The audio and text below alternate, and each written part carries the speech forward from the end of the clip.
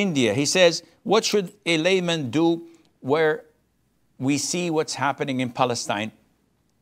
Akhi, layman cannot do anything, in short, because this is a conflict where whatever you do, you will be either arrested or damned or condemned or going out of the Sharia because we have certain rules that we have to follow in Sharia.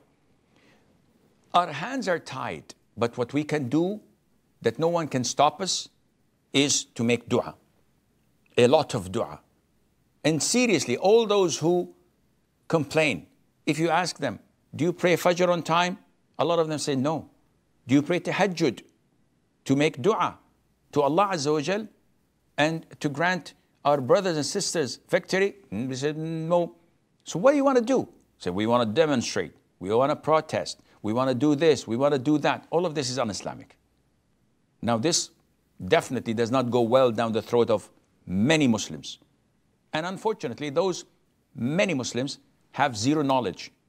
So whether they like it or not, they're not speaking from the perspective of Sharia. They're just following their whims and desires. The hell was Sharia? Astaghfirullah What are you saying, guys? Said, no, we want to honor our brothers and sisters. By doing what? By adding fuel to the fire, by incriminating Islam and tarnishing its reputation, make dua.